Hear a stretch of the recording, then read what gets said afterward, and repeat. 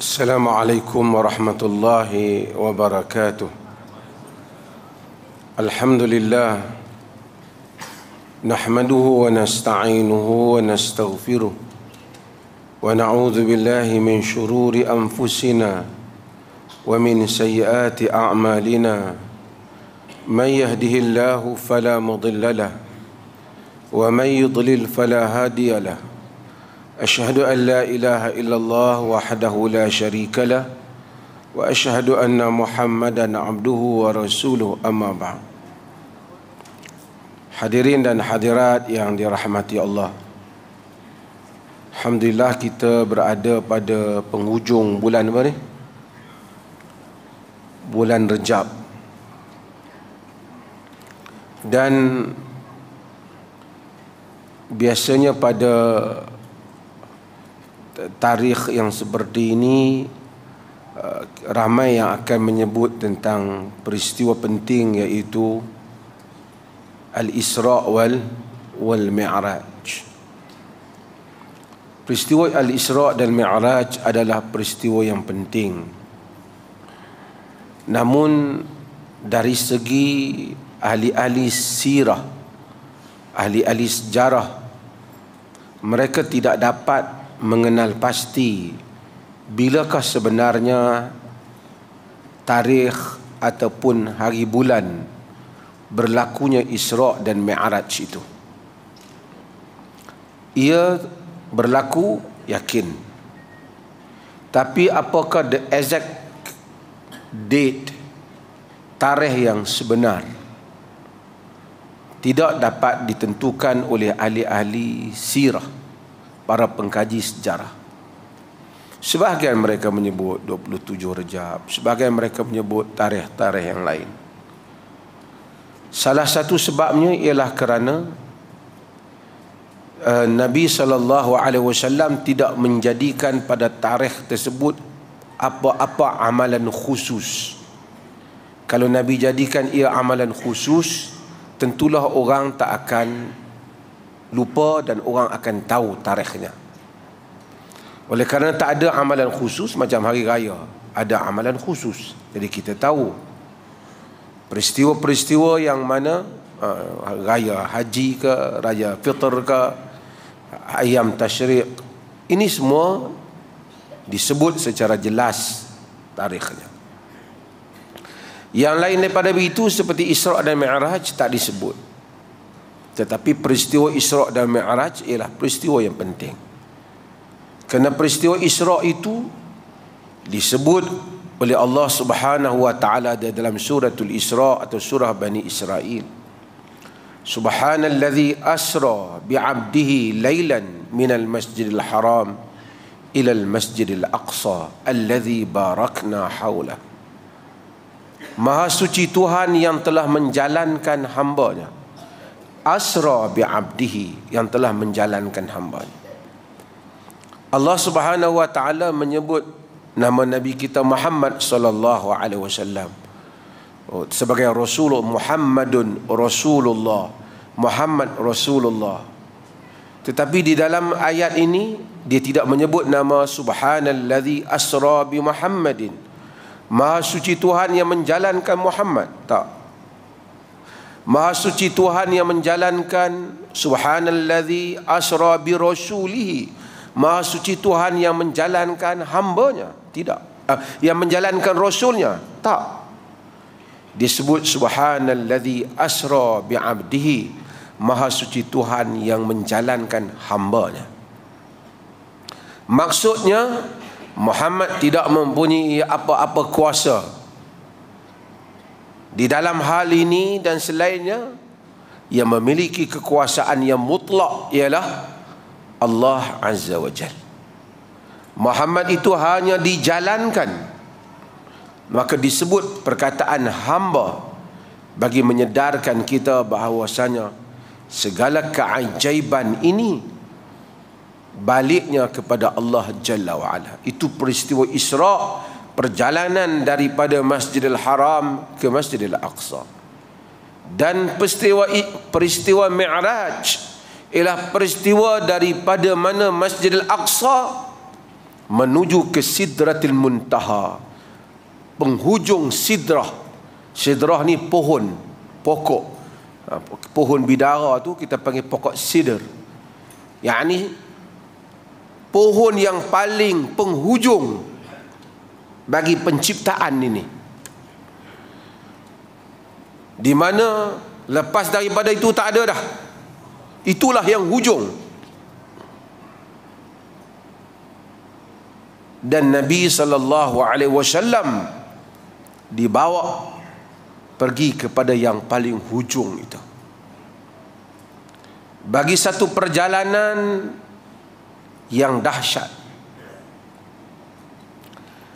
Bila perjalanan ini berlaku walaupun tarikhnya secara hari bulannya tidak dapat diberikan keputusan secara putus oleh ahli-ahli sirah tapi kesemua mukmin meyakini dengan pasti berlakunya peristiwa Isra dan Mi'raj ruh nabi dan jasad baginda.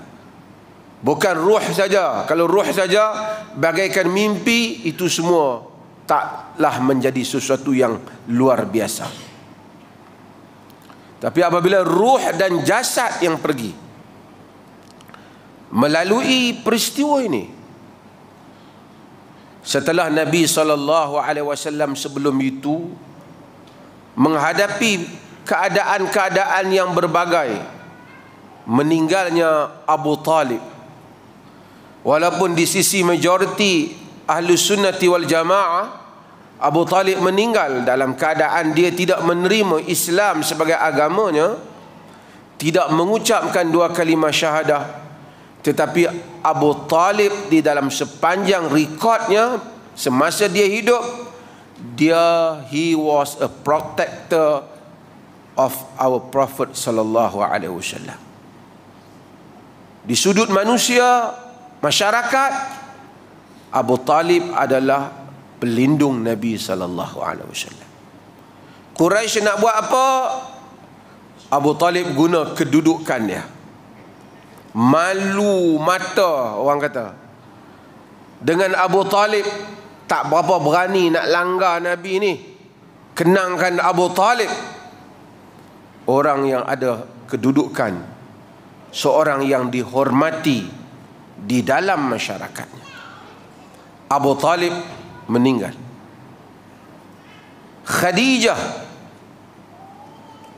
isteri Nabi sallallahu alaihi wasallam bukan saja seorang yang sentiasa akan bersama dengan nabi kerana insan nabi itu insan.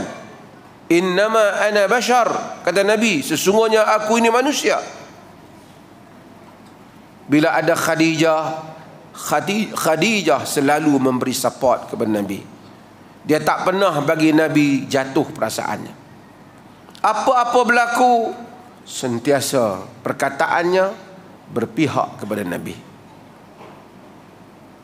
sentiasa membela Nabi. Bukan saja membela dengan perkataannya, dirinya, ungkapannya. Khadijah itu membela Nabi dengan hartanya kerana dia juga orang yang ada harta. Khadijah juga wafat. Khadijah wafat. Dua orang yang sangat penting di dalam hayat Nabi telah wafat.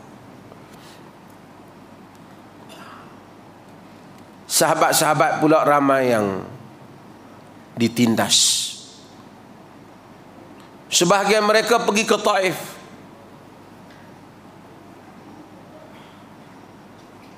Sebahagian mereka pergi ke Habasyah. Yang tinggal berhijrah ke Habasyah. Ja'far pergi ke Habasyah. Ummu Salamah pergi ke Habasyah. Osman pergi ke Habasyah. Ramai pergi ke Habasyah. Tuan-tuan, zaman sekarang kita ni kalau kawan-kawan kita nak pergi jauh, kata aku kena pindah lah dia orang duk buat kat aku macam ni. Kita bayangkan kerana perjuangan yang kita bawa kawan-kawan yang ikut kita kena ambil tindakan. Walaupun kita tahu bukan salah kita bukan salah mereka tapi tentulah kita ada satu perasaan yang berat. Apabila melihat kerana mendukung perjuangan kita orang terpaksa meninggalkan kampung halamannya. Dihalau keluar ataupun terpaksa mencari tempat perlindungan ramai sahabat ke Habasyah kalau sekarang tak apalah sampai sana nanti kontak lah hantar email ke. Ha, dulu orang boleh messenger ke ataupun hantar M, ha, dulu apa? SMS sekarang dah tak ingat lah perkataan lama. Boleh whatsapp. Ke depan ni tak tahu apa lagi. Itu tak ada. Kalau pergi sementara nak sampai tu bukan boleh tahu flight bukan berapa terbang sampai bukan berapa. Pergi melintas padang pasir. Yang tak tahu apa rencana musuh di tengah padang pasir. Mereka sampai ke sana pergi ke sana tinggal nabi. Dan orang-orang yang mampu bertahan di Mekah setelah melihat orang Mekah tak mau terima orang besar tak mau terima yang lemah diseksa Sumayyah dibunuh Yasir dibunuh Ammar disiksa Bilal disiksa barangkali kena pergi cuba kat orang luar pula kot. Mana tahu kot, kot orang luar mau support maka Nabi pergi ke Taif. Sekarang tuan-tuan pergi ke Mekah dia akan ada trip ke Taif. Saudi pun telah develop Taif ni. Ada hotel cantik sekarang. tapi dulu Taif terkenal sebagai ladang uh, buah-buahan. Kerana dia lebih sejuk lebih tinggi sejuk dan banyak buah-buahan yang elok-elok ada di Taif Nabi pergi ke Taif. Saya ringkas sekali bukan nak cerita peristiwa ni. Di Taif orang Taif tak terima. Setiap pintu pemimpin Taif yang Nabi ketuk bukan saja mereka menghalau Nabi bahkan menyuruh anak-anak budak-budak mereka melontar Nabi dengan batu sehingga tidak tinggal lagi di tubuh Nabi melainkan kesan darah lontaran orang Taif. Lari membawa diri. Dalam doa yang selalu saya baca dan tuan-tuan baca walaupun riwayatnya mursal tapi disebut oleh ahli-ahli sirah hatta di kalangan uh, ahli-ahli hadis menyebut riwayat ini Allahumma inni ashku ilaika dha'fa quwwati wa qillata hilati wa hawani 'ala an-nas. Anta rabbul mustad'afina wa anta rabbi. Ya Allah aku mengadu kepadamu lemahnya kekuatanku sedikitnya helahku dan hinanya aku ini di kalangan manusia engkau adalah Tuhanku. Engkau adalah Tuhan orang-orang yang yang ditindas. Engkau adalah Tuhanku. Ila man takiluni. Kepada siapa kau nak serahkan aku ini? Ila ba'idin yatajahamuni am ila aduwin malaktahu amri. Kepada orang jauh yang tidak mau memperdulikan aku ataupun kepada musuh yang kau jadikan mereka itu menguasai urusanku. Dalam keadaan diri berdarah luka orang Mekah tak mau orang luar baling dengan batu pergi dengan anak angkatnya bersendirian di tempat orang makan tak ada tempat perlindungan tak ada bawa diri dibaling bukan oleh orang-orang dewasa kanak-kanak di jalanan. Seorang nabi seorang rasul yang ditabalkan oleh Allah. Ila man takiluni. Pada siapalah kau nak serahkan aku ini wahai Tuhan? Nabi tidak berputus asa tapi ini munajat. Ini adalah rintihan. Tapi Nabi kata illam yakun bika alayya ghadab fala ubali. Jika engkau tidak murka kepadaku tak kisahlah apa nak berlaku berlakulah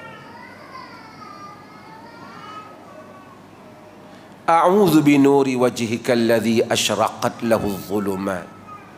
Wa salaha alayhi amru dunya wal akhirah. Aku berlindung dengan wajahmu wahai tuhan yang dengannya di, diterangi kegelapan-kegelapan. Dibaiki dengannya urusan dunia dan akhirat.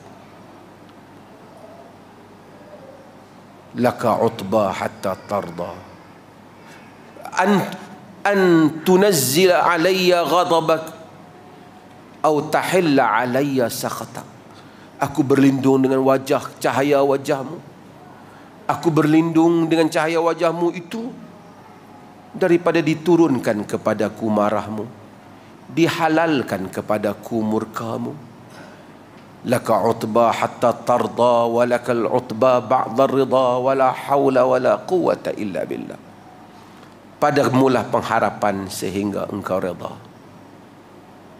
tidak ada daya dan tidak ada upaya melainkan denganmu ya Allah balik ke Mekah dalam perasaan yang demikian Orang Mekah tak benarkan Nabi masuk. Tak boleh masuk rumah sendiri, kampung. Kerana Mekah ni nak masuk, kena ambil permission daripada kepimpinan dia. Nabi terpaksa mencari Mut'im bin Adi. Kafir Quraisy tapi sudi untuk melindungi Nabi. Mut'im bawa anak-anak dia, benarkan Nabi, amujirun anta ami muttabi' pembesar Mekah tanya kau ni dah jadi sekadar nak lindung je ke ataupun kau dah jadi pengikut ni bal mujir aku lindung dia dalam suasana yang sugul yang seperti itu dalam mehnah yang berat seperti itu ini bukan dakwah sekadar nak ajak orang naik atas pentas berzikir beramai-ramai. Tapi ini adalah dakwah mengajak manusia mengubah sistem hidup. Mengubah cara hidup. Kalau sekadar Nabi kata tak ada apa, aku hanya nak ajak kamu berzikir ramai-ramai jangan dengan aku. Lepas pada tu kamu nak sembah pokok ke apa pun tak apa, niat Allah je. Nak semelih atas jabatan ke, nak semelih bawah jabatan pun tak apa. Tak, Nabi menyebut La ilaha illallah Tidak ada ilah melainkan Allah Memutlakkan peribadatan hanya pada Allah Dan menolak selain daripadanya Dalam kesugulan keadaan yang seperti itu Dalam keperitan yang seperti itu Allah menghadiahkan untuk nabinya peristiwa Isra dan Mi'raj. Satu jemputan untuk datang menyaksikan apa yang telah berlaku di alam ini. Supaya tidak hanya terkongkong dengan environment Mekah, Nabi pergi ke Baitul Maqdis. Menaiki burak sampai ke Baitul Maqdis. Dalam riwayat Bukhari Muslim Imam Ahmad Al-Hakim jika jika dirangkumkan riwayat-riwayat itu menaiki kenderaan yang tidak pernah manusia naik sampai ke sana berjumpa dengan para anbiya supaya dapat merasakan perjuangan ini bukan hari ini dan berakhirnya di sini. Perjuangan ini adalah perjuangan yang telah bermula sejak kejadian manusia. Ia berkesinambungan sehingga akhir zaman. Dan setiap yang membawanya telah membayar harga yang mahal. Dibenci oleh kaumnya dimusuhi dan disakiti dikutuk dan dihina bagi membolehkan manusia akur kepada sistem la ilaha illallah Muhammadur Rasulullah ataupun la ilaha illallah. Tidak ada ilah melainkan Allah bagi rasul-rasul yang sebelum daripada itu. Kemudian naik ke sidratul muntaha. Melihat alam yang selama ini dia beritahu kepada orang alam yang dia rasai sendiri. Manusia tidak boleh terkongkong dengan alam yang dia lihat. Tapi pergi kepada alam yang lain. Di mana padanya ada syurga. Pergi ke sidratul muntaha. Melihat apa yang tak dilihat oleh mata kasar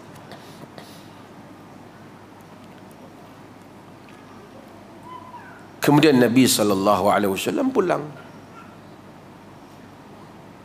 Walaupun Allah memberikan hadiah tapi kembali kepada alam biasa ini adalah alam cabaran. Dunia adalah dunia ibtila cabaran. Ketika Nabi diam Abu Jahal lalu dia kata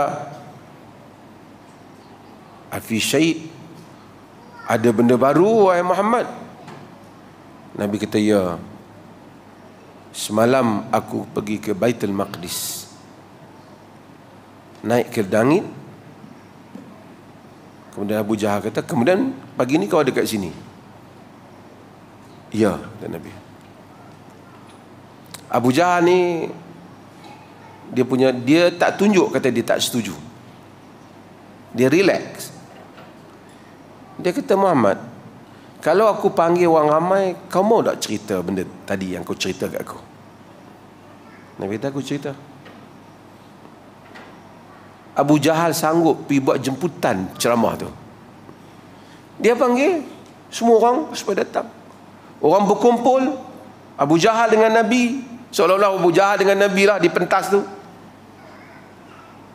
Dan Abu Jahal kepada nama Ya Muhammad hadis qaumak ma haddathani wahai Muhammad cerita pada kaummu apa yang kau cerita ke aku tadi? Bila Nabi sallallahu alaihi wasallam menceritakan apa yang telah diceritakan. Ada yang tepuk dahi ada yang tepuk muka ada yang tepuk kepala ada yang tergelak macam-macam. Ada yang kalau menurut riwayat Aisyah ada yang dah nak beriman batal tuan-tuan kalau kita cerita hal itu pada zaman ini ini selalu saya cerita sejak dulu. Cerita ke anak-anak kita semalam abah terbang pergi ni. Oh dia kata mesti abah tengok filem ni kan. Pasal sekarang ni orang tak walaupun benda tu kita tahu tak berlaku tapi oleh kerana khayalan itu tak pelik. Orang banyak filem-filem macam-macam Superman ke apa ke macam-macam. Jadi manusia dah berkhayal. Manusia dan kemudian manusia tahu ada kapal terbang, ada. So untuk satu orang cerita walaupun orang tersenyum kita biar betul kau ni tapi khayalan itu sampai tentu faham maksud saya orang kata dapat khayal lah zaman tu tak ada TV ke apa tak ada hanya manusia deal dengan apa yang mereka dengar dan mereka lihat bila Nabi cerita benda ni sesuatu yang besar Sesuatu yang tak tercapai oleh khayalan mereka. Kita mungkin tak benarkan tapi tercapai khayalan kita. Tak tercapai oleh khayalan mereka. Nabi struggle dengan orang-orang yang percaya dan tak percaya.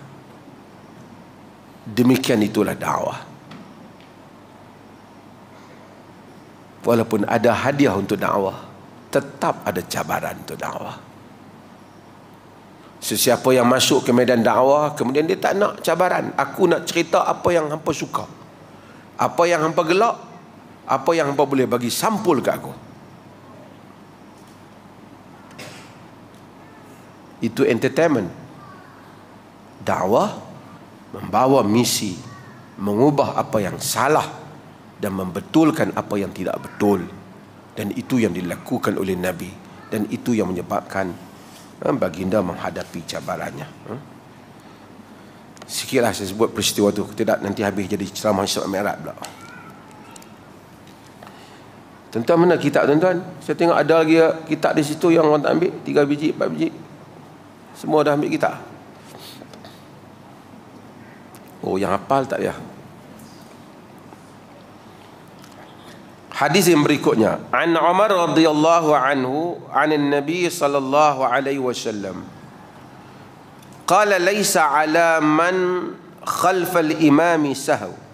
Fa in sahal imam fa alayhi wa ala man khalfahu. Hadis ni ialah hadis uh, yang diriwayatkan oleh al-Imam Al-Bajjar dan diriwayatkan oleh Al-Baihaqi.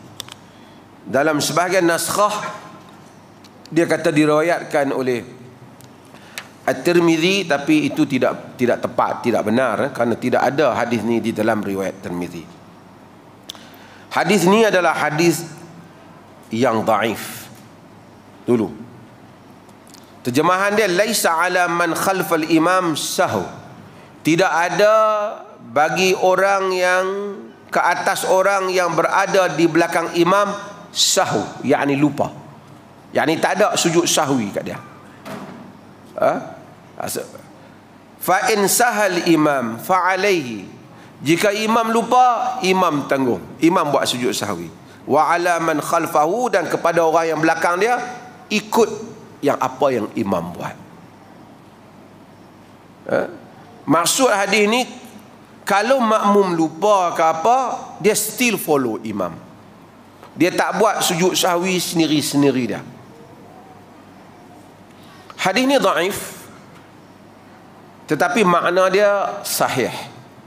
Ha, nanti saya akan bahaskan tentang perbincangan makna bagi hadis ni dia panggil hadis ni daif jiddan dia terlalu daif pasal apa terlalu daif kerana pada rangkaian perawi apa nama rangkaian perawi kita panggil? Eh, tuan-tuan kuliah kali yang ke tujuh ribu dah tak ada. Ha? Apa nama rangkaian perawi? Sanad. Sekarang ni, dia buat kata mengaji tak ada sanad. Ngaji hadis memang ada sanad. Hak yang tak ada sanad, hak hadis palsu yang pada ambil tu, itu tak ada sanad. Kami ada sanad. Sanad hang tak pakai. Sanat yang pakai adalah sanat yang boleh diiktiraf. Ha? Itu peranan sanat. Hmm? Serana duk sebut sanat, dia pun tak tahu sanat mana apa. Ha? Kenapa hadis ini dhaif? Kerana pada sanatnya ada rawi yang bernama Kharijah bin Mus'ab. Kharijah bin Mus'ab, Imam Ahmad kata, La yuk yuktabu hadisuhu hadisnya tak ditulis. Maka orang tak ambil hadis. Dia tak dipercayai. Laisa bi syait kata ibn ma'in. Ha? yahya bin ma'in. Yahya bin ma'in ni imam ahmad sahabat baik tapi pada ujung hayat dia bukan berpisah tak bersahabat. Kalau nak kata berkelahi pun boleh juga tapi berpisah. Sebab isu politik. Eh, Ibn Ma'in tak tegas pada sisi Imam Ahmad dengan pemerintah dalam isu khalqul Quran. Tapi di segi ahli hadis dua-dua ni ahli hadis. Dulu berjalan dua-dua itu yang saya kata pergi ke satu majlis baru tengok satu orang duk ceramah haddathani Ahmad wa Yahya bin wa Yahya telah menceritakan kepada aku Ahmad dan Yahya yakni Yahya bin Ma'in nak menunjukkan hebatnya Ahmad dan Yahya bin Ma'in Imam Ahmad heran Hadis tu ambil daripada dia, tapi dia tak tahu. Ha, tanya Yahya bin Ma'in tanya. Ambil mana hadis ni? Dia tadi tapi ada Imam Ahmad dan Yahya bin Ma'in. Dulu bukan ada Facebook boleh nak kenal muka. Bukan dalam berita.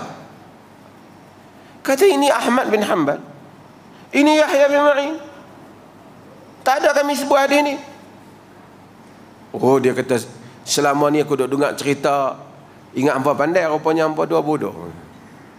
Hampa ingat dua orang hampa saja Ahmad dengan Yahya bin Ma'in. Aku ada Ahmad dan Yahya bin Ma'in yang banyak. Maksudnya dia kelentong saja dia panggil nama. Maksud sanad orang boleh bohong. Boleh bohong nama siapa saja. Sebab itu perlukan rawi yang dipercayai baru dia akan menyebut sanad yang dipercayai. Kalau riwayat-riwayat lain pun cerita hadis palsu, berapa banyak orang boleh buat sanad palsu. Kharijah bin Mus'ab tak diterima riwayat dia. Bahasa sebut matruk oleh Al-Hafiz Ibn Hajar ha, di dalam At-Taqrib. Kemudian ada rawi yang majhul iaitu Abu Husain Al-Madini juga majhul. Jadi kesimpulannya uh, riwayat ini tidak di tidak di tak diterima ha? walaupun riwayat ini secara teknikal hadis tak diterima tak diterima. Tetapi konten riwayat ni benar. Apa dia? Okey saya sebut beberapa keadaan tuan-tuan nak kena ingat apabila orang makmum duduk di belakang imam. Pertama, kalau makmum itu pasal hadis ni cerita makmum di belakang imam. Kalau makmum itu di belakang imam, kalau dia menyertai solat itu daripada awal. Daripada awal. Maksudnya imam takbir, kita pun takbir. maka makmum wajib mengikut imam dalam semua keadaan imam. Kalau imam terlupa, walaupun makmum tak terlupa, makmum ikut dia juga. Selagi imam tak batal. Macam hadis yang kita baca, Nabi SAW terlupa untuk tasyahud. Tasyahud? Tasyahud awal. Sahabat ikut tak? Ikut dan Nabi Selepas itu bila tanya Nabi akui dan selepas daripada itu Nabi sujud sahur. Sebelum baginda memberi salam. Makmum pun ikut sujud sujud sahur. Kalau berlaku apa-apa, sujud sahur berlaku sebelum bagi salam, juga sujud sahur berlaku selepas memberi salat. Kalau kita solat dengan imam daripada awal, kalau imam, katalah imam yang terlupa, kita tak terlupa. Kita ikut dia. Kalau dia sujud sebelum salam, kita ikut. Kalau dia sujud selepas salam, kita pun ikut dia.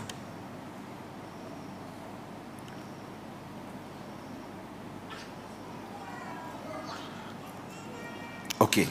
Lagi saya cerita ni hal-hal makmum kalau sekiranya makmum ada terlupa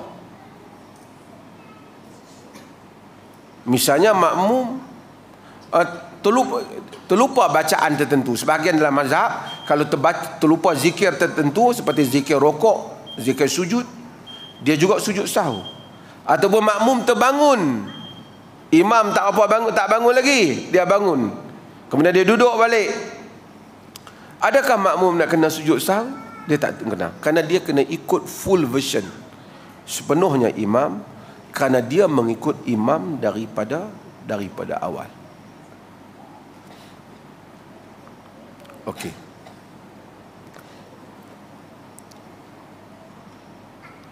Kalau makmum mengikut imam secara masbuk kita masuk-masuk tu rakaat yang kedua. kita tak tahu apa berlaku pada rakaat yang pertama dengan kedua tu kita mari-mari ni imam dah eh, rakaat kedua nak masuk ketiga ke apa selepas daripada itu kita tengok imam memberi salam uh, selepas daripada tu sebelum salam kita tengok imam sujud kita tak tahu pasal apa dia sujud tapi kita makmum Pasal kita masuk lambat tadi. Kita sujud ke tak? Kita sujud ke tak? Kita sujud. Sebab apa? Innama ju'ila al-imam liyu'tamma bihi. Dijadikan imam untuk kita ikut.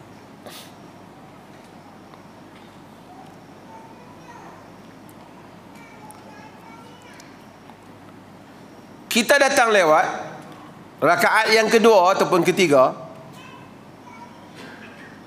Imam memberi salam Selepas imam memberi salam Baru dia sujud Kerana mungkin tadi berlaku penambahan rakaat kau Kita tak tahu kita Adakah kita nak sujud? Kerana sujud dia itu Setelah Imam Setelah dia memberi salam. Dia bagi salam dulu baru dia sujud. Kalau kita ikut daripada awal, dia bagi salam, dia sujud ke sebelum salam atau dia sujud selepas salam, kita mesti ikut. Tapi kita mari sebagai masbuk. Ni kes kita mari sebagai masbuk. Kalau kata kalau kita ikut dia bagi salam, batal sembahyang kita? Batal kita tak cukup lagi. Kita baru tiga. Ataupun kita baru dua. Maka dalam kes yang kedua ini, kalau dia sujud selepas daripada salam, kita tidak ikut. Faham tuan-tuan ni? Ha. Okay, ada lagi beberapa keadaan? Surah azan dulu. Okey, tuan-tuan, Tadi saya dah sebut tadi tentang apa makmum yang mas masbuk. Kalau makmum yang masbuk itu dia juga terlibat semasa imam tu lupa. Misalnya imam tu skip daripada tasyahud umpamanya. Ataupun apa-apa lagi yang mana patut diganti dengan sujud sah dia terlibat tadi maksudnya semasa dia ikut tu peristiwa tu berlaku dan dia di belakang imam cuma dia mas masbuk. Tadi saya kata kalau imam sujud selepas dia masbuk imam silap imam sujud dia juga su sujud. Walaupun dia masbuk dan dia tak tahu apa-apa. Ha? dia tak tahu apa tapi kalau sekiranya dia terlibat dengan bahagian kesilapan tu maka dia sujud bersama dengan imam. Pasal imam sujud tadi kan? Kemudian setelah dia memberi salam ataupun sebelum dia memberi salam dia nak kena sujud sekali lagi ataupun tak?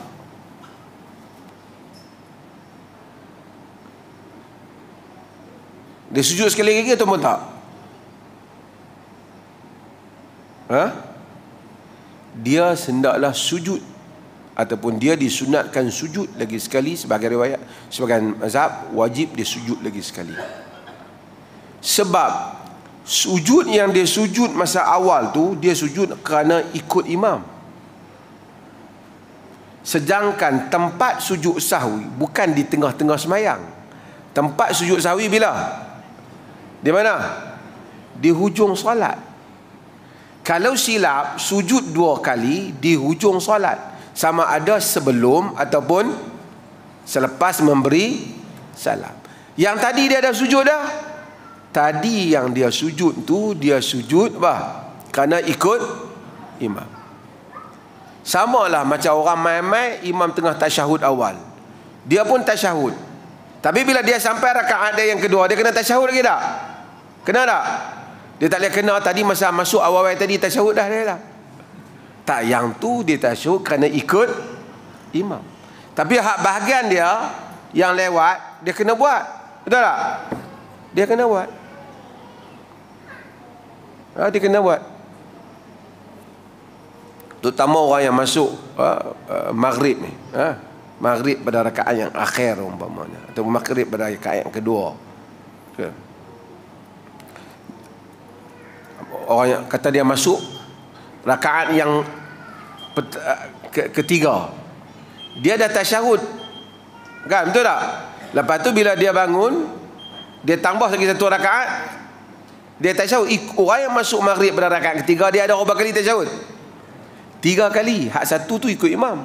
Dia tak boleh kata Nombor dua tak payah Tadi dah buat dah Dalam semayang Dua kali ya Ni sampai tiga kali Yang tadi Kerana dia mengikut Imam Kata dia main imam rakaat yang ketiga Dia pun takbir sama imam Bila imam turun Dia tak syahud tak Imam sebelum memberi salam akan Akan tak syahud Kemudian pada rakaat yang Habis dia memberi Imam beri salam Dia sambung dia sambung pada rakaat ke apa? Jadi rakaat berapa dah? Rakaat kedua. Tadi rakaat pertama dah berlaku. Rakaat kedua ada tasyahud tak? Ada. Dia tak boleh berpada dengan tasyahud yang pertama. Lepas tu rakaat ketiga ada tasyahud tak? Ada. Sama juga dengan kes ini. Walaupun dia telah sujud sahu bersama dengan imam. Tapi yang tu kerana ikut imam. Hak bahagian dia yang terlibat dengan silap tu Dia sujud sahur tak? Dia sujud sahur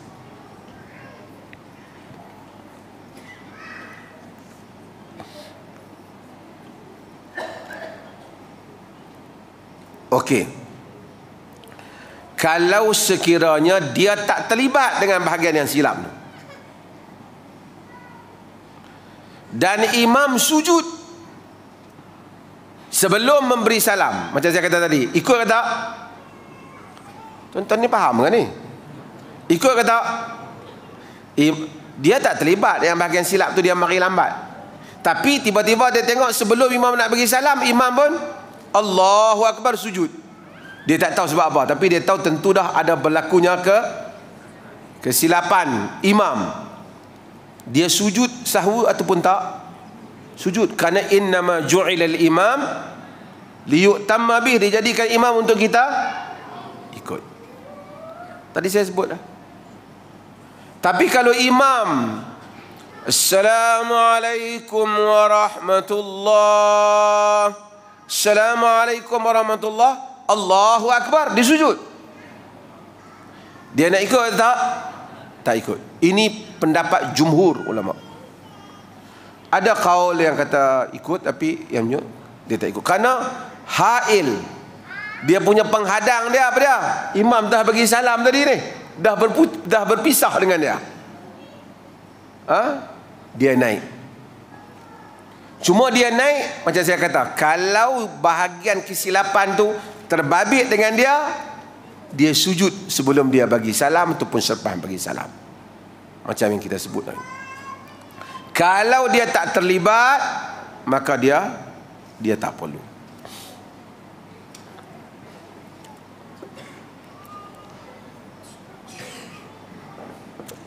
Ada tak keadaan di mana makmum ikut sepenuh imam tapi dia kena sujud sahwi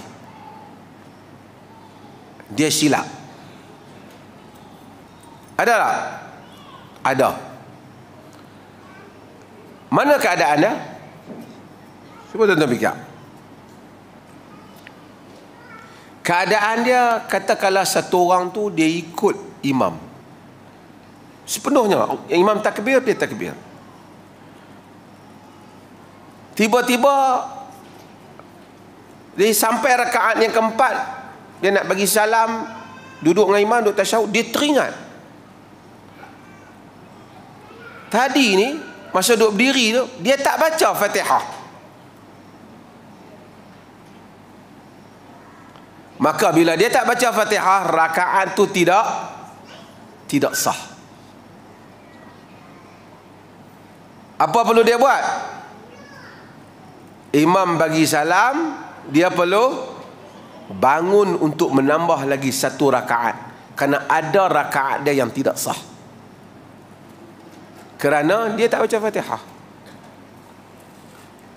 Kan Allahu Akbar tiba-tiba apa lalu depan dia duduk fikir. Hmm? Teringat teringat tak baca Fatihah. Tak sah dia. Jadi dia kena bangun untuk tambah lagi satu satu rakaat.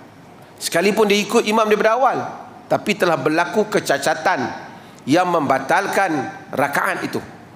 Dia tambah lagi satu rakaat.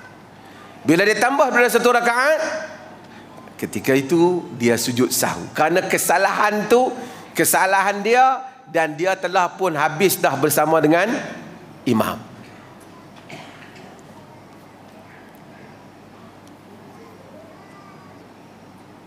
Faham tak tuan-tuan ni? Ha. Ada tak kalau makmum tu masbuk dia ikut imam pada rakaat katalah dia main rakaat yang keempat dapat satu rakaat bersama imam selepas imam memberi salam dia bangun imam tak sujud sawi tak ada salah apa kemudian bila dia bangun itu rakaat yang keberapa berada kedua lah dia turun dia rokok, dia sujud. Dia terlupa nak baca tasyahud. Dia terus bangkit ke rakaat yang ketiga. Dah berdiri. Bila dah berdiri dia tak duduk. Dia teruskan salat. Kita tahu dalam mazhab Syafi'i sunat yang sangat dituntut. Dalam mazhab Hambali wajib tasyahud yang kedua itu sengaja meninggalkannya membatalkan salat Okey. Bila dia bangkit kerana terlupa tasyahud tu artinya telah berlaku sahu, lupa. Betul tak? Maka sebelum dia memberi salam, dia kena apa? Sujud. Walaupun semasa dengan imam tadi tak ada kes sujud. Tapi dia sujud kerana dia makmum mas masbuk makmum masbuk ha? tapi kalau apa-apa berlaku kesilapan pada dia semasa dia bersama dengan imam sepenuhnya sehingga imam memberi salam kalau imam tidak sujud dia tidak sujud kesilapan dia seolah-olah berpada dengan dalam bahasa kita ni ditanggung oleh imam Bukan imam tanggung dosa dia. Maksudnya kekurangan itu ditampung oleh imam. Tuan-tuan faham ni? Ha? Faham tak? Oh, jangan sekali balik aku tak faham tapi katakan faham juga tak ikut mufti tanya aku sekali lagi pula. Faham tuan-tuan sampai belakang ah. Okay. Wallahu taala.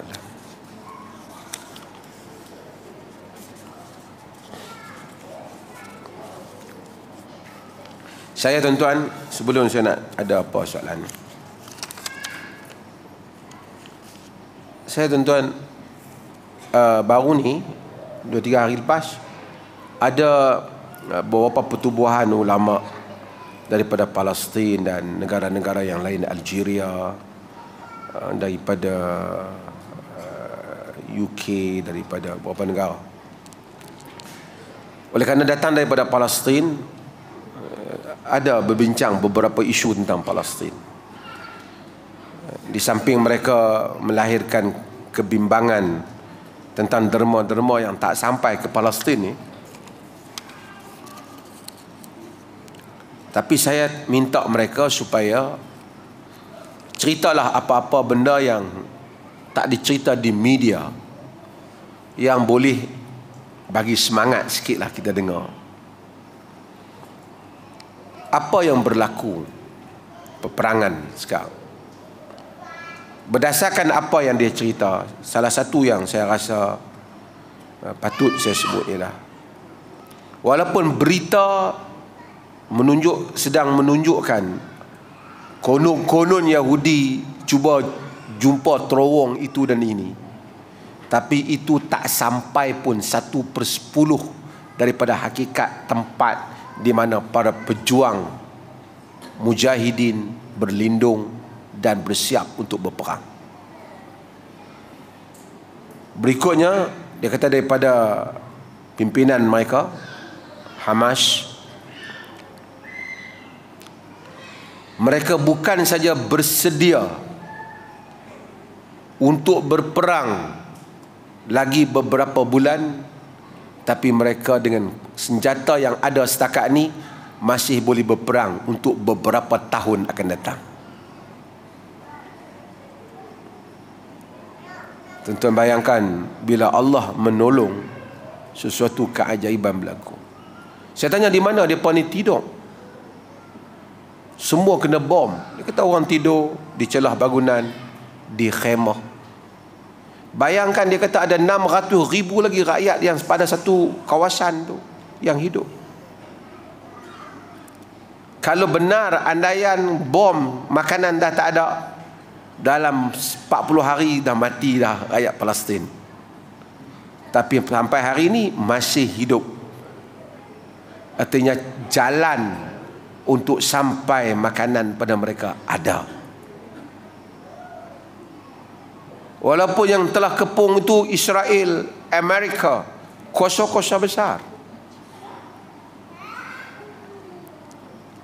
Ini semua bagi kita meyakini bahwasanya intan surullah yansurkum wa yuthabbit aqdamakum jika kamu tolong Allah Allah tolong kamu.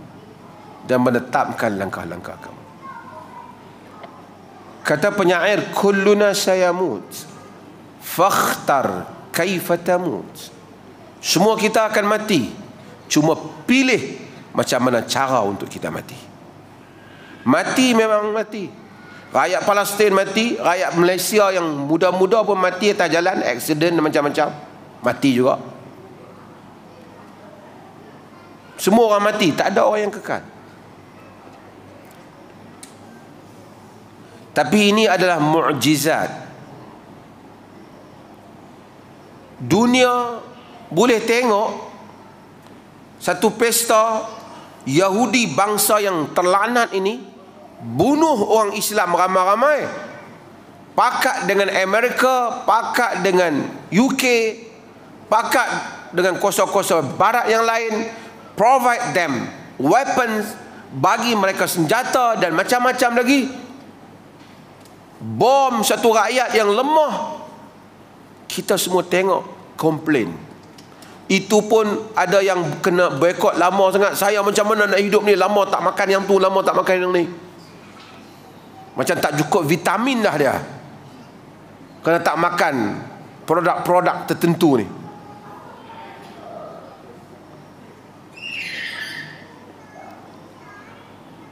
Dan semua ada yang kata, eh, kalau kita duk terus boykot ni, kesianlah kepada orang yang duk kerja ni, nanti mereka macam mana?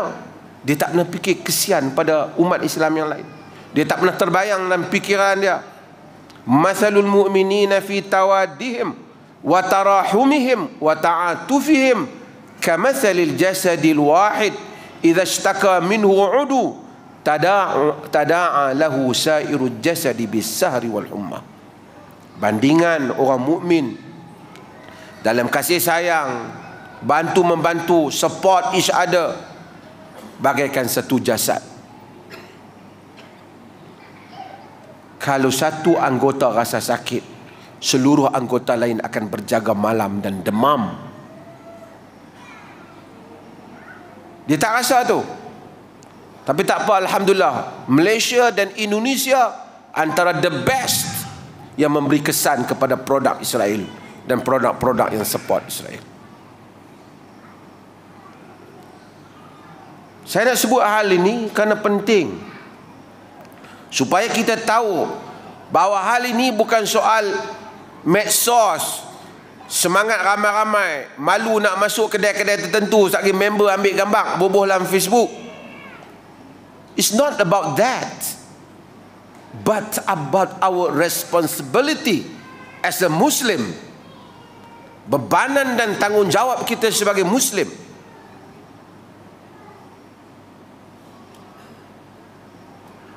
dan kita we are answerable kepada Allah Subhanahu wa taala. Kita akan menjawab di hadapan Allah di atas apa yang berlaku.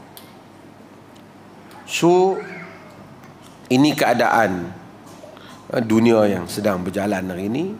Dan kita lihat saya dulu saya teringat Abdullah Azam dia menceritakan ketika mereka berjihad menghadapi Rusia bila dikepung makanan tak ada. Dia kata mereka tertidur dalam kepungan.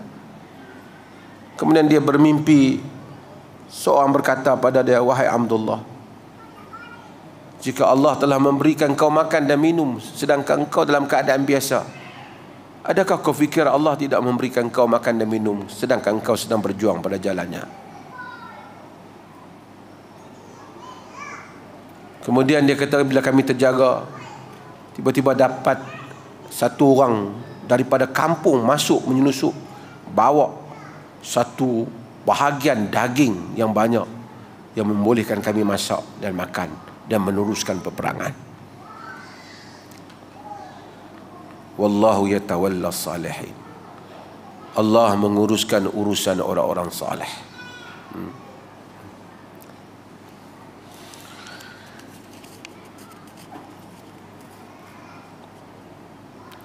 Mohon Dr. Mazhar doakan ayah untuk exam SPM subjek sains tahun ni.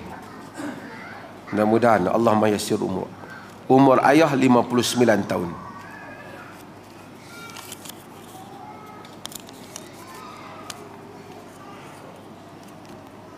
Saya nak sentuh bab lain lah. Baguslah belajar ni dan ambil periksa. Tak usah kira lah umur berapa pun. Sebagai satu semangat.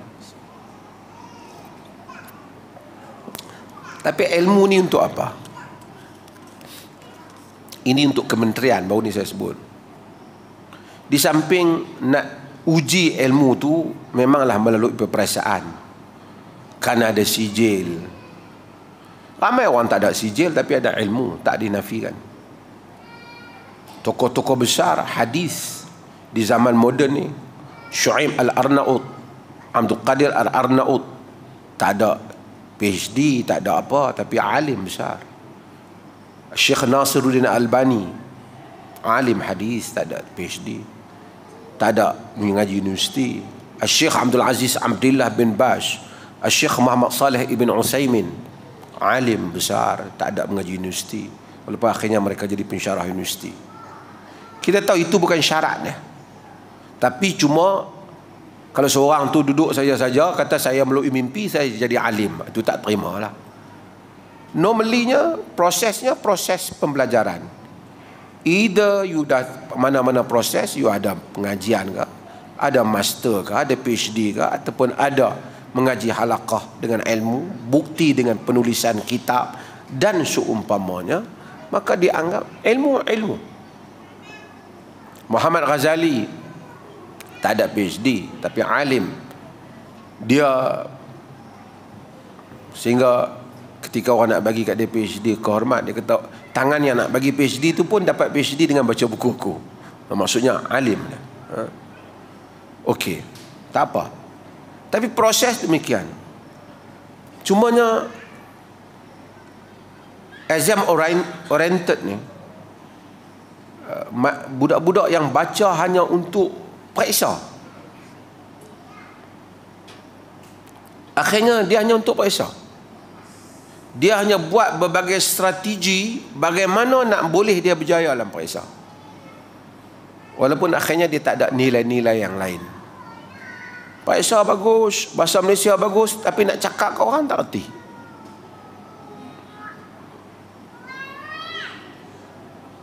kerana dia yang penting kertas lulus dia tidak refleks kepada real life. Ini yang strategi menjawab peperiksaan. Bersungguh-sungguh. Macam-macam strategi yang dibuat supaya dapat jawab peperiksaan. Sehingga budak tu begitu belajar begitu rajin dalam peperiksaan tapi tak ada nilai-nilai lain dalam hidup dia. Itu yang kita dengar ada cerita dulu. Budak perempuan yang A semua mak bapak dia tekan nak pergi mana pun tak boleh mak bapak dia nak nak dia A kalau kita tanya mak bapak dia, A tu untuk siapa? Tanya mak bapak dia, A tu untuk siapa? Untuk dia masuk universiti? Ataupun A tu untuk mak bapak dia boleh tunjuk ke orang, saya anak saya 11 A.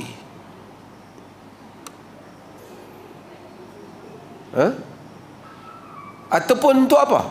Untuk dia bersaing dengan orang. Baguslah dia dapat A. Saya bukan kata tak bagus dapat A. Saya kata bagus dapat A.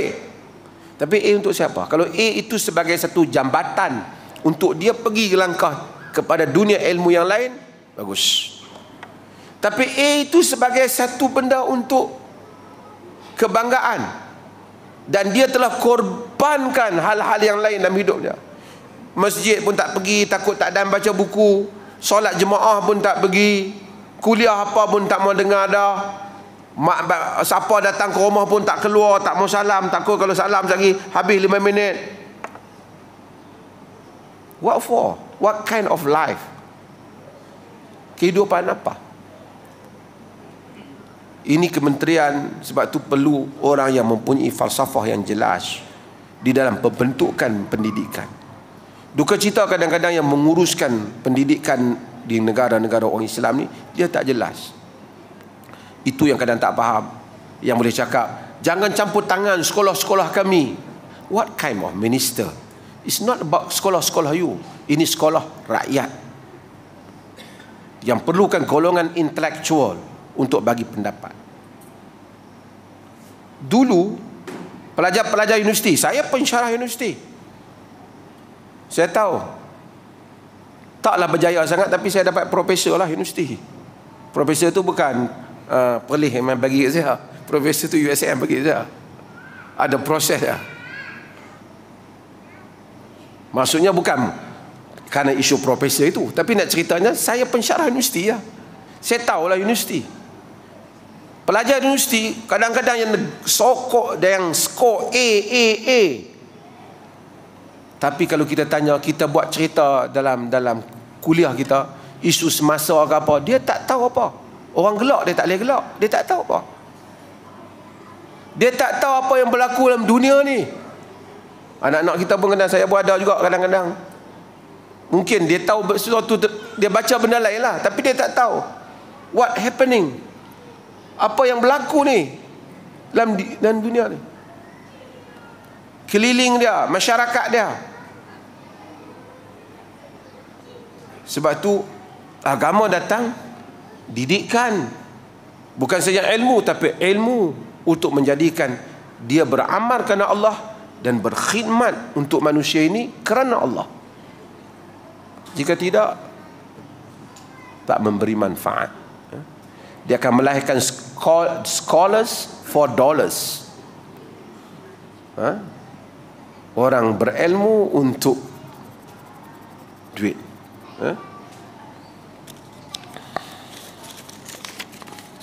Ada satu lagi last Panjang eh Tulang lembu bagi jin makan sebagai upah jaga jambatan. Betul kan ni? Tuan-tuan, ini adalah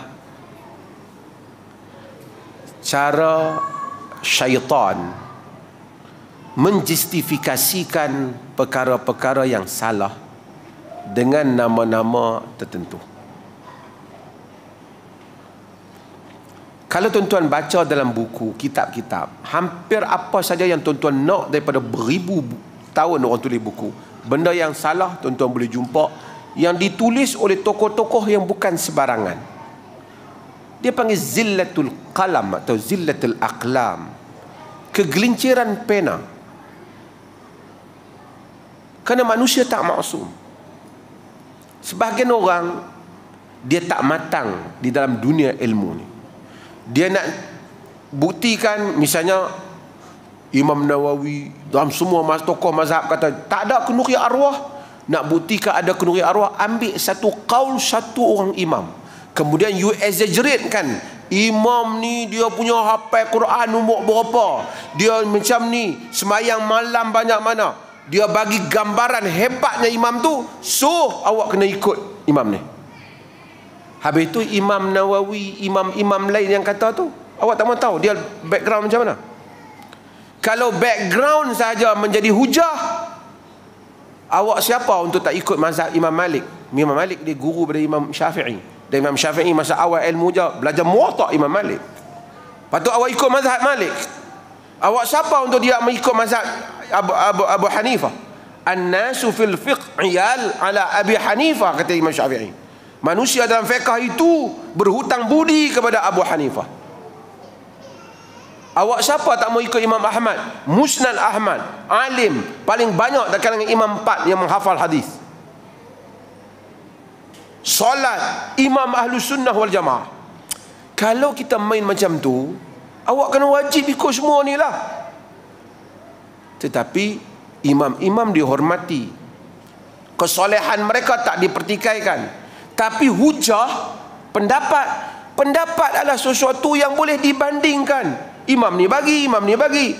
Dia cuba jadikan kalau kita tolak pendapat imam ni seolah-olah dia kata hang rasa dia pandai daripada imam tu. Dia tak tahu apabila kita tolak pendapat imam tu bukan kita yang tolak. Imam-imam lain yang telah tolak pendapat imam tu kerana bukan seorang imam dalam dunia Islam ni ni. Dalam dunia keilmuan. Tapi dia cuba jadikan tengok, dia tolak. Sedangkan dia mengaji tu je. Imam ni banyak ni. Kenapa hang tak bayangkan, bandingkan diri hang yang tak ikut mazhab Hanafi tu dengan Imam Hanafi? Kenapa hang tak bandingkan diri hang dengan Imam Malik? Pasal apa hang tak ikut Imam Malik? Bukan begitu ilmu. Imam dihormati, ilmuwan dihormati ala ra'si wal ain. Tetapi argument. Bapak kita kita sayang. Kita hormat. Kita tak petikai dia. Dia didik kita. Tapi dia bagi satu pendapat, kita tak setuju dengan pendapat bapak kita. Kita setuju dengan pendapat orang lain.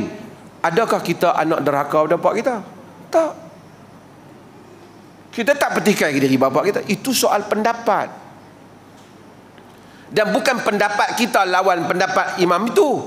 Pendapat imam lain yang berbeza dengan imam tu kita ambil imam lain.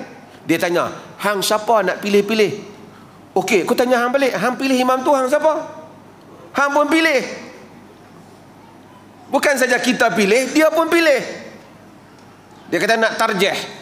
Hang yang ikut hang tarjih lah tu. Hang pilih lah tu. Ada banyak pendapat hang pilih yang ni. Hang siapa pilih? Dia tanya kita hang siapa nak pilih Eh, hang pilih yang tu, hang siapa? Dia lupa diri kita. Itulah mangkak. Ha? ha? Orang kata, benda ni ilmu. Budak-budak main guli, jangan main dataran ilmu ni. Ha? Ilmu dia bukan cerita main guli. Kan? Ini ada ilmu. Yang mana perbahasannya ialah perbahasan ilmu. Ha? Okey. Balik cerita jin. Ha? Bila nak justifikasikan sekarang ni dia kata selagi kita percaya pada Allah tak apa. Tuan-tuan semua berhala-berhala yang disembah tu mereka tu percaya pada Allah. Baca surah Nuh. La tazarunna alihatakum wa la tazarunna waddan wa la su'an wa la yaghusa wa ya'uqa wa nasra. Jangan kamu tinggalkan berhala-berhala kamu. Tuhan-tuhan kamu kamu tinggalkan Wad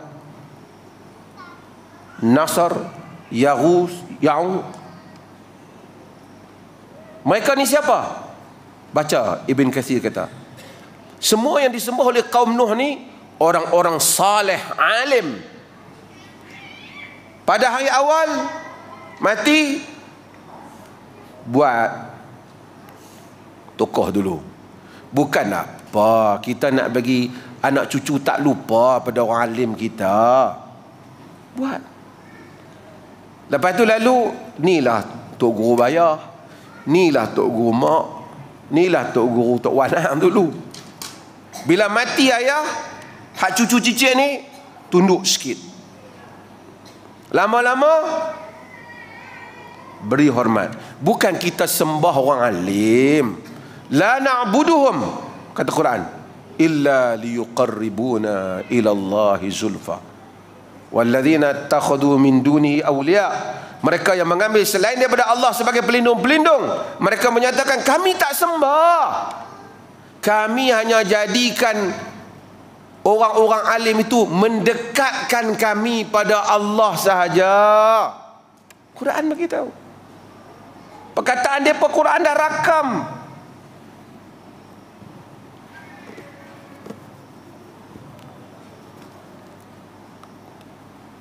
Surah Jin kita baca Allah kata apa? Innahu kana rijalun minal ins ya'udzuuna bi rijalin minal jinni fazaduhum rahaqa. Sesungguhnya lelaki-lelaki daripada manusia insan minta lindungan daripada lelaki-lelaki daripada jin bukan dia kata Tuhan please protect me saja tolong aku lalu kawasan tu ni anak cucu tumpang lalu fazaduhum rahaqa maka manusia tu tambah kesombongan jin jin tu jadi lagi keras kepala kerana ada orang yang duk puja mereka Patutnya kalau ada jambatan ada jin bukan pi puja jin tu. Baca auzubillah minasyaitonirrajim. Baca qul a'udzu birabbil falaq, baca qul a'udzu binnas. Ni pi panggil jin tu lagi bagi makan. Patu pi cari hak orang hak nak justify nak justify kan ni memang ada lah. Hak jenis te, apa? Selak sterai ada hak jenis eh, panggil pokok ada ada besok ni yang panggil jin tu pun dia akan kata dia al-sunnah wal jamaah asyairah maturidiyah pada Abu Hasan Syari Abu Mansur Maturidi tak ada pun sebut bab tu dan kitab mereka Abu Hasan Asy'ari Abu Mansur Maturidi ni dia isu theologian ada isu ilmu kalam dia bukan cerita suruh orang duk panggil jin ni dia hanya bahaskan bagaimana method dalam memahami ayat-ayat sifat dan isu-isu tertentu. Ada perbezaan. Abu Hasan Syari ni ada kitab dia. Sebahagian hak kata syairah ni dia pun tak baca kitab Abu Hasan Syari melainkan dengar penceramah tu. Satu orang polis punya kepala yang duk cakap dua tiga ni dia pun tak tahu apa Abu Hasan Syari masa masa Syazili ke tarikat apa semua pakai sebutnya. Kalau dia tahu kita akan jemput dia mai. Dia pilih. Kita nak tengok dia tahu banyak mana. Pasal dia bercakap dia atas, atas uh, uh, kapasiti keselamatan dia jangan main-main. Ini keselamatan negara. Bukan dia boleh main-main. Suka-suka dia.